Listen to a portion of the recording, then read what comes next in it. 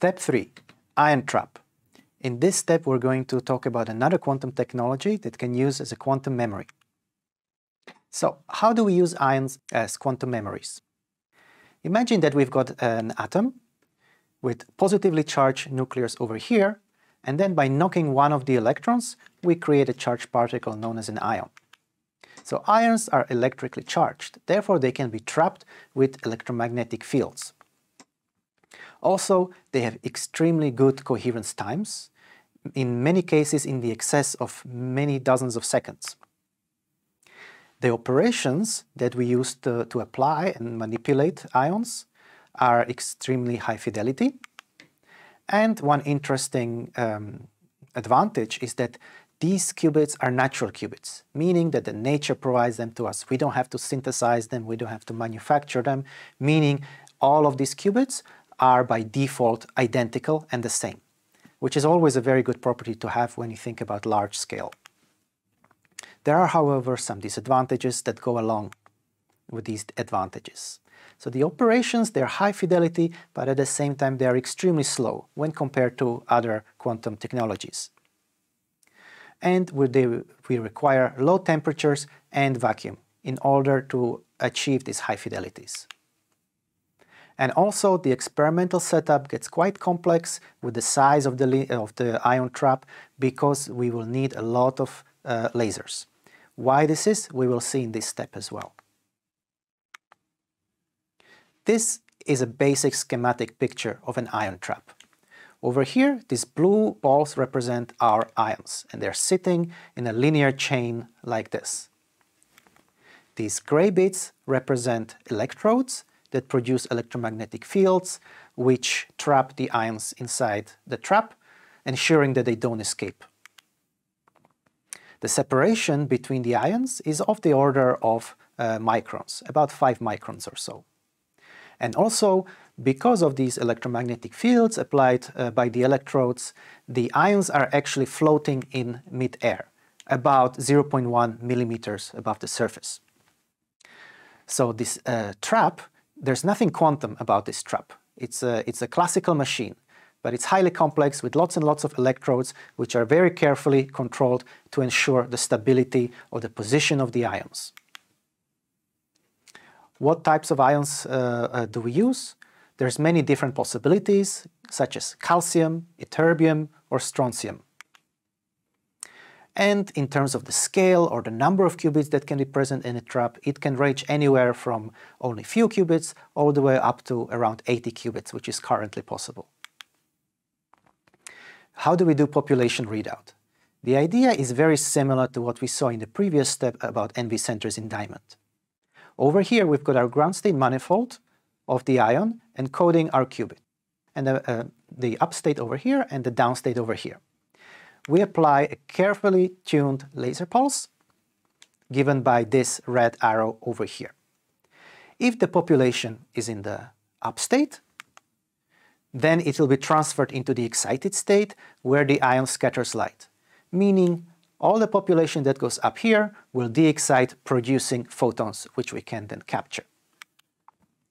On the other hand, if the population is in the ground state, then the transition frequency between the ground state and excited state is off resonant with the laser pulse applied, and therefore the population will not get transferred into excited state, and the ion will not scatter photons. The nice thing about this method of population readout is that we don't need very careful measurements. Even if only 1% of the photon gets scattered, that's still enough to produce a very strong pulse and produce a nice uh, Z measurement in effect. And that's because these ions are very good light scatterers. They produce a lot of light when excited to the, um, to the excited state. How do we perform unitary gates? This is where we will see why we need a lot of lasers. For single qubit gates, this is quite straightforward. We need to choose an appropriately tuned laser and shine it at the atom on which we would wish to perform this unitary gate. For example, if you want to apply a unitary on ion 2, then we just shine this laser on ion 2 and we're done. If you want to apply a unitary on ion 4, we switch off the previous laser and shine a new laser at ion 4.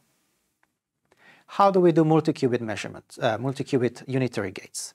We have to use multiple lasers, and this is where the experimental complexity comes in. For example, we wish to apply a unitary on the qubits 2 and 3, for example, like a CNOT gate. Then we require two lasers, which are, one is shining at qubit, uh, at ion 2, and the other one is shining at ion 3. Interesting thing is that these um, two qubit unitaries don't need to be applied in this way only to neighboring qubits. In particular, if you want to apply a unitary between ions 1, 2, and 4, so 4 is a non-neighboring uh, non-neighboring ion, all we have to do is we shine laser on ion 1, ion 2, and ion 4. And that applies the correct unitary. So despite the linear layout of the ions in the trap, the system has very high connectivity. How do we achieve ion-photon entanglement? Remember, we are looking at ion traps as memories, which we would like to use for quantum networking. This is how it works.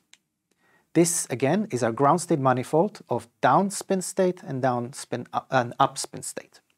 If we excite our ion into the excited state over here, it has two possible decay channels. One channel is to decay into the down state producing a horizontally polarized photon.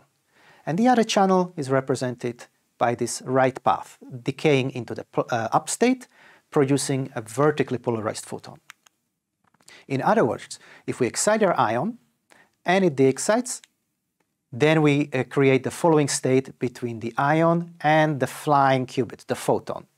We have a superposition where the ion is in the down state and the photon is in the horizontal polar polarization, plus the ion being in the up state and the photon having vertical polarization.